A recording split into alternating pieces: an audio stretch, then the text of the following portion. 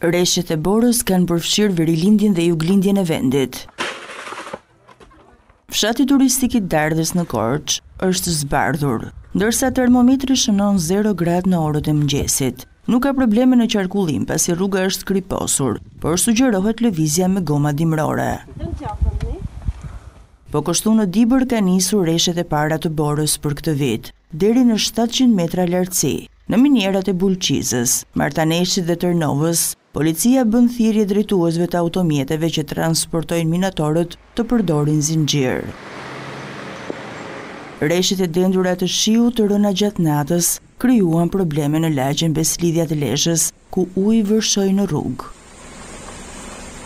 Me rënien e intensitetit, situata u përmirësua. ndërsa problematika mbetet e pazgjidhur prej vitesh, pasi pusetat bllokohen dhe kanalizimet nëntokësore nuk përballojnë prurjet e larta. Në Postribë të Shkodrës, si pasojë e reshjeve u bllokua një rrugë rurale nga rrëshqitja e dherave. Rreth njëzet banorë mbetën të bllokuar për disa orë, por bashkia ndërhyri për pastrimin e saj. Sipas meteorologëve, moti do të jetë i kthjellët të mërkurën, por do të dominojnë temperaturat e ulëta, nga minus dy deri në trembëdhjetë gradë Celsius.